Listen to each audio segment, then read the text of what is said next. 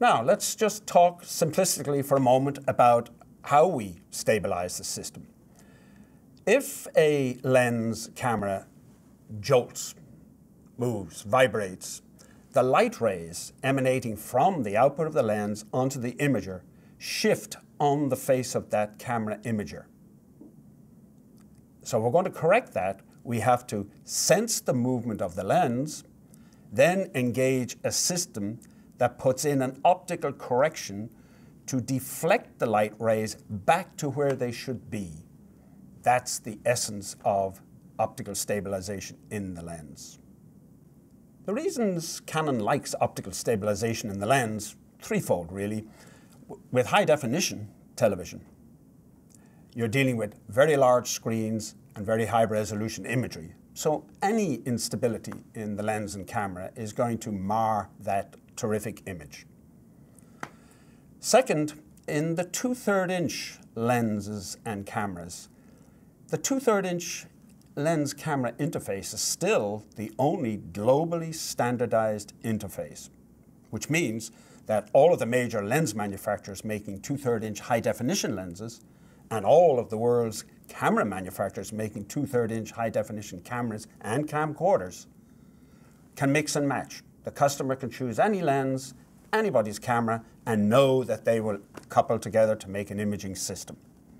So there's a compelling reason to uh, take a lens and fix any instability in the lens that can be coupled to any camera which may or may not have electronic correction. That's a big advantage.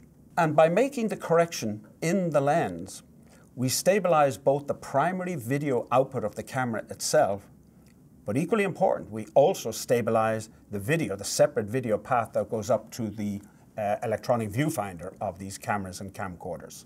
That's a big advantage. Starting in the mid 1980s, Canon embarked on two approaches to image stabilization in a lens. And the two approaches were really to try and optimize the performance, the correction performance, for the sort of wide range of lenses that we have. We have the portable lenses that we'll be talking about today, which can be handheld, subject to fairly large amplitude movements. So one of our technologies was focused on optimizing the correction of that. On the other hand, we have uh, field lenses used for sports with ever increasing focal lengths. We talk about 100 to 1 zooms today. And they're usually mounted on tripods, but can be subject to vibrations, etc. Lower amplitude, slightly higher frequencies. And another optical system was developed for that. We call that the shift lens, where we move a lens elements, some elements at the back of the, uh, of the lens. That works very well for long zoom. But for the portable lens that we're going to talk about today, we're going to talk about the technology of variable angle prism image stabilization. What do I mean by a variable angle prism? Well, in the world of optics, there has long been known uh, the wedge prism.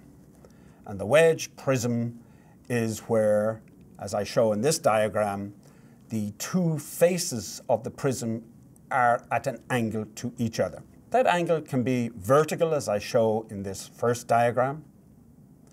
And when it's vertical like that, a light ray entering that prism will come out deflected vertically. It can be deflected down or deflected up, depending on the angle of that tilt of that wedge prism.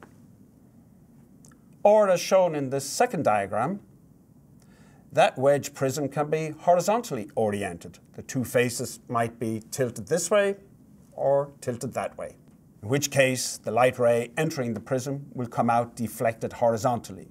Now, if we could implement a prism where we can dynamically move these faces of the prism, we then have a dynamic control over the deflection of the light rays.